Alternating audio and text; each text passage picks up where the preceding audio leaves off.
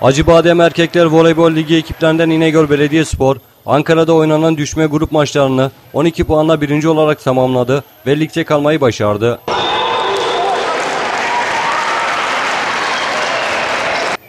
Rakibine yenilmesi halinde ligden düşecek olan ekibimiz zorlamadan rakibini 3-1 yenerek ligde kalmayı başardı.